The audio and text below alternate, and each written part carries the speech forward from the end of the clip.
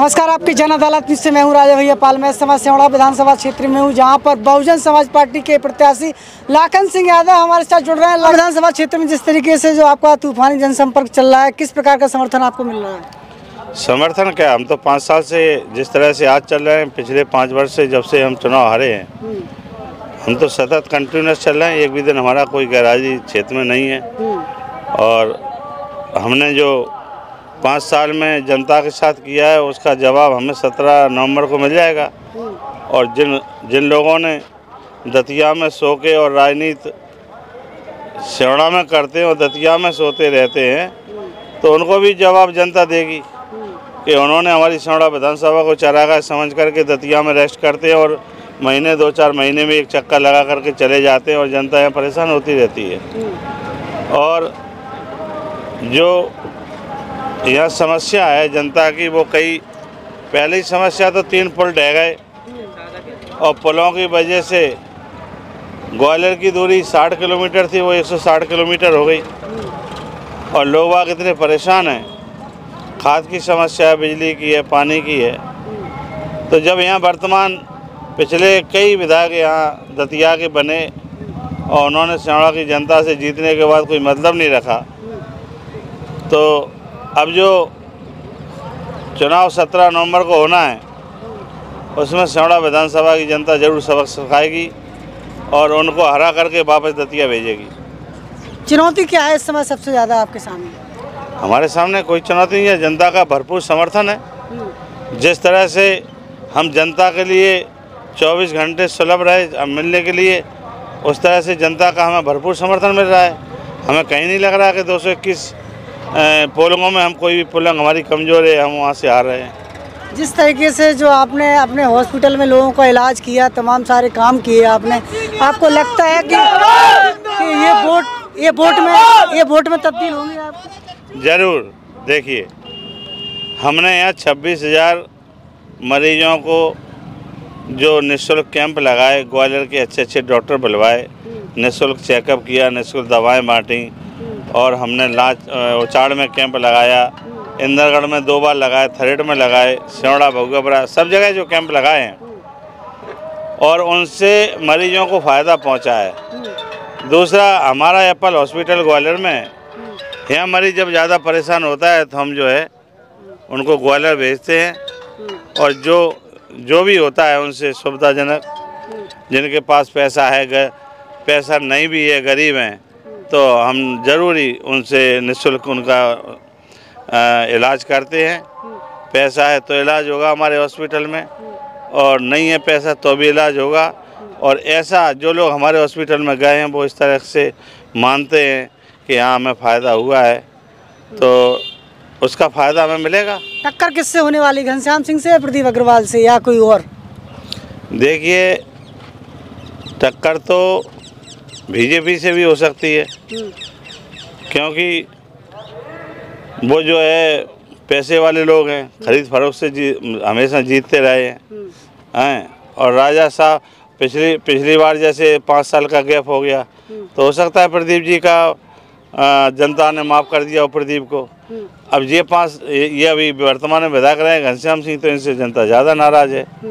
अब जिससे भी मुकाबला हो पर मैं मानता हूँ कि मुकाबला हमारा किसी से नहीं है। क्योंकि ये दोनों नेता जो दतिया में सो कर के सेवड़ा को चरागा समझते हैं और सेवड़ा में राजनीति करते हैं चार चार छः छः महीने में ये बड़े बड़े लोगों के चक्कर लगा के गरीबों को परेशान करते हैं। और गरीब इतना परेशान है कि अब इनसे उब गया है। ना घनश्याम सिंह की शक्ल देखना चाहता ना प्रदीप अग्रवाल की शक्ल देखना चाहता है।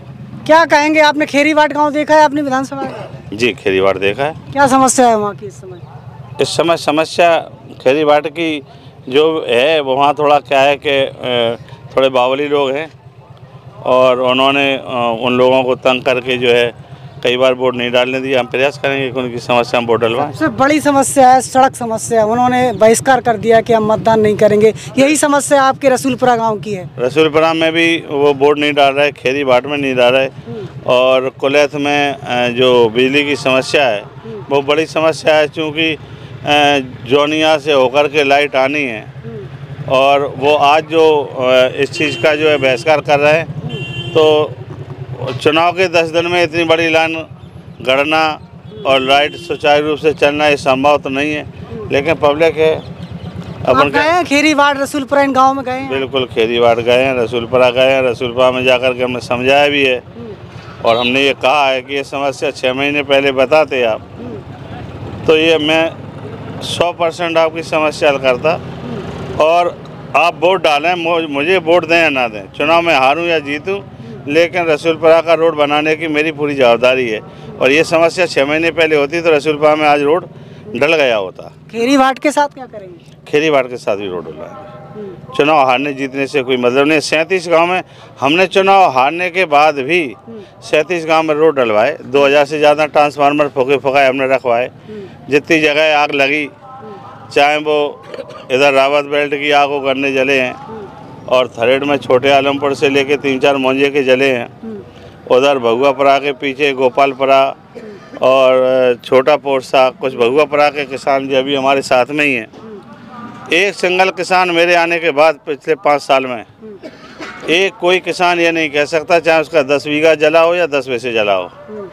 हमने ज़रूर वहाँ रोक के उनको मुआवजा दिलवाया है। अगर किसी को मुआवजा नहीं मिला है तो वो हमको बिल्कुल, मैं उसका बिल्कुल दोषी हूँ और मैं बिल्कुल इस चीज़ को मानता हूँ कि मैंने एक छोटे से छोटे किसान को भी नहीं छोड़ा कि उसको मुआवजा ना मिला हो। जितने भी आगे लगी हैं।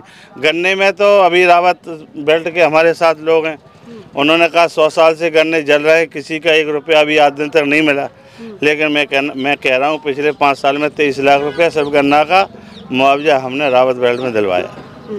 और जहाँ भी जो नुकसान होता है, जितने भी एक्सीडेंट हुए, बस पलटी सनगुआ पे एक्सीडेंट हुआ, बहत्तर लोग ट्रैक्टर के नीचे दबे तो उन्हें मालूम है कि सिर्फ़ हम ही उनको लेके गए और एप्पल हॉस्पिटल में उनका इलाज कराया।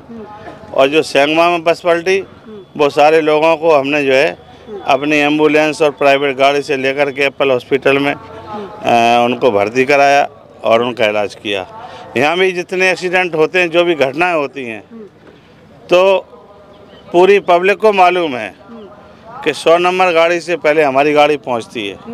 आज दिन तक जितनी घटनाएँ घटी एक्सीडेंट हुई या कोई भी घटना घटी है तो सौ नंबर हमसे पहले अभी तक नहीं पहुँच पाई और जब तक मुझे काम करना है तो ना पहुँच पाएगी। बिल्कुल। जनता इस समय आपको देख रही है क्या अपील करना चाहेंगे आप? मैं जनता से अपील ये करना चाहता हूँ कि वाकई अगर मैंने सच्चाई से काम किया है और मेरे बारे में मुझे लोगों ने पिछली बार नहीं परख पाया क्योंकि दो महीने का चुनाव हम लड़े थे लोग हमें नहीं समझ पाए। अब पाँच साल में मैंने जो काम किया है, और अगर सही काम किया, ईमानदारी से काम किया है तो वो हमें मतदान करें। और मैंने कोई धोखाधड़ी जनता के साथ की है, झूठ बोला है, या जनता को चक्कर कटाया कोई भी किसी प्रकार का तो मुझे बिल्कुल वोट ना करें। बिल्कुल तो इस समय हमारे साथ बहुजन समाज पार्टी के प्रत्याशी लाखन सिंह यादव बने हुए थे। जुड़े रहिए हमारे साथ, नमस्कार।